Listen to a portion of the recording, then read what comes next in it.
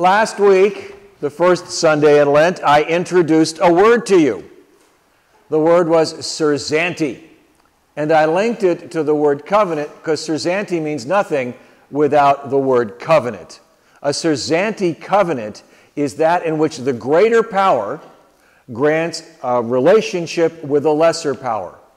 And in last week's uh, gospel, uh, uh, Old Testament lesson, uh, the covenant was granted to all through Noah. Noah, and the symbol of that covenant, which was God will not destroy us, even though we are perfectly capable of destroying ourselves, was the rainbow. And that was the covenant from last week. And in um, this week's particular Old Testament lesson, we have Abraham. And he has his name changed from Abram to Abraham. And God is making again another statement of covenant or as I said, evoking the words from Psalm 25 last week covenant and faithfulness. God is being faithful to uh, Abraham, Abraham and his descendants, which will multiply forever. So, covenant and faithfulness go hand in hand. And, and the other word from Psalm 25 that I linked for us was faithfulness and love.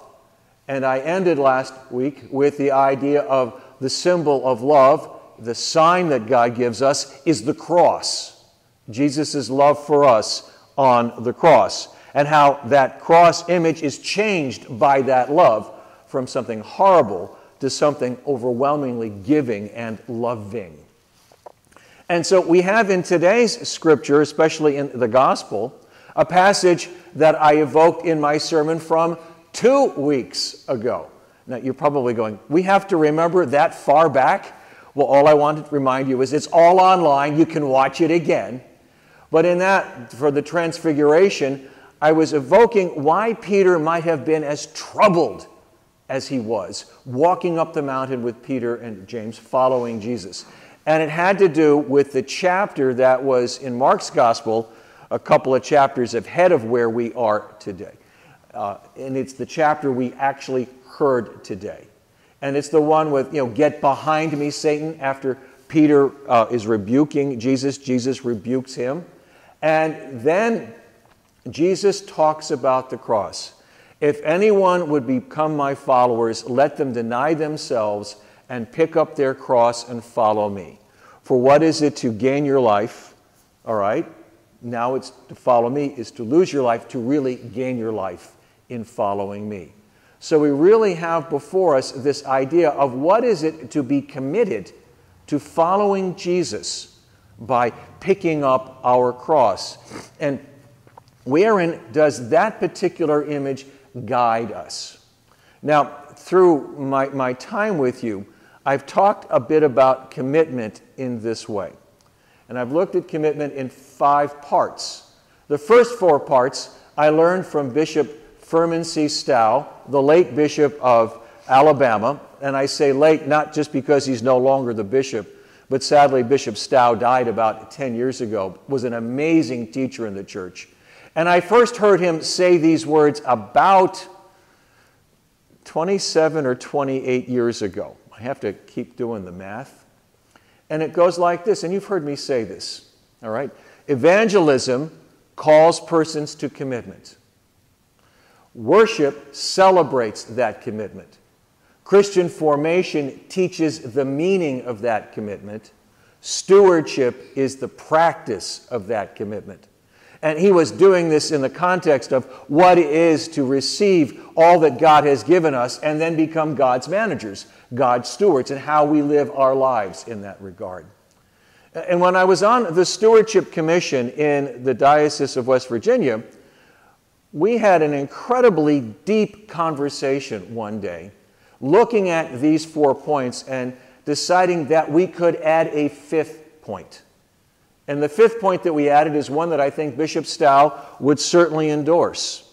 And it was, it's this discipleship that leads to apostolic action is the outcome of that commitment, that commitment to Jesus that commitment to be faithful to God as best we can, as God is committed to totally being faithful to us. God is totally committed to loving us. So, our commitment within our own frailty is to try to be as committed back to being faithful and being loving.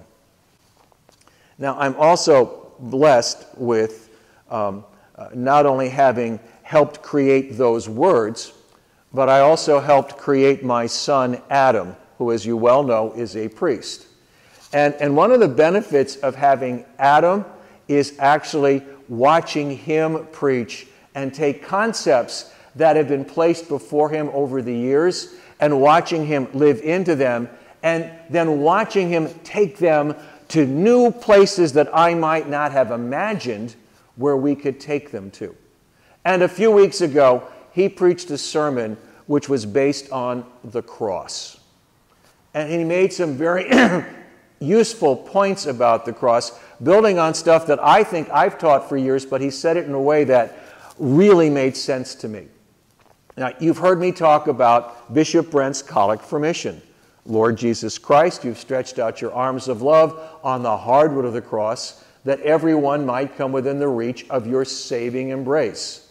So clothe us in your spirit that we, reaching forth our hands in love, may bring those of you who do not know you to the knowledge and love of you for the honor of your name. Adam was making a point about discipleship and apostleship. So I've, I've worked with Bishop Brent's Collect for Mission. When I look at the cross, there is a horizontal aspect of the cross, and then there is a vertical aspect of the cross. And for years, I tried to talk about the deep nature of how deep inward is that cross. And I could only imagine it going so far deep.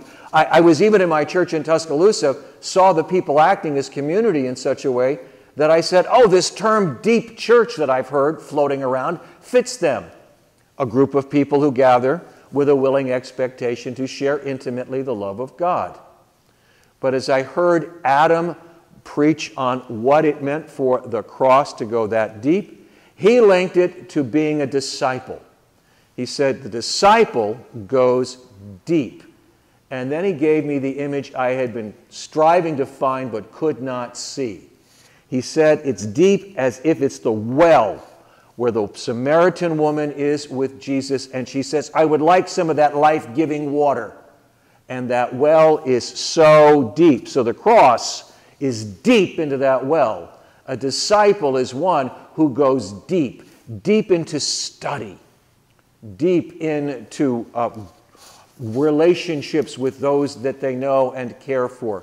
I, I, can articulate some of that study idea here from Education for Ministry, or the group that meets at Panera Bread on Saturday, or the women who gather on Tuesdays uh, or the folks that are going, the women that are going on the retreat in a few weeks, or the people who take time reading Bible at home, personal growth that they, there's so many of those opportunities here. The folks who study the rule of Benedict, you, you can see how that is a way of going deep. What is it for us to have a Sunday school that does godly play to give a sense of going deep?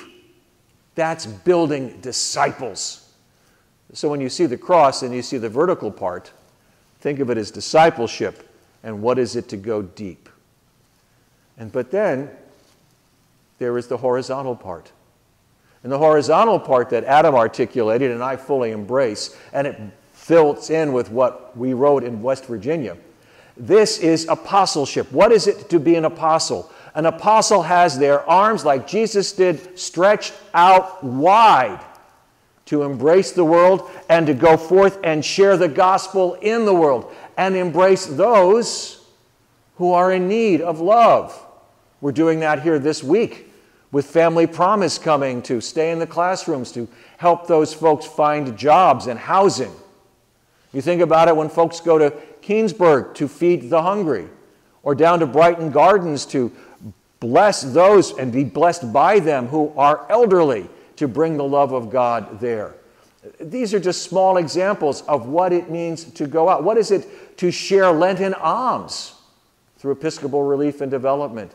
An apostle is one who is wide. Much as Jesus' arms are on the hardwood of the cross, ours are open wide as well, offering that saving embrace.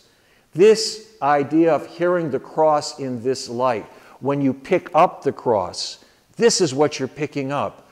You're picking up not just something which would weigh you down to die on Calvary, you're picking up something that will give you life as a disciple and as an apostle, living into the commitment to follow Jesus Christ. Or another way to say it is God is committed to us in this covenant that God makes with us that God does not have to make. God is faithful, God is loving.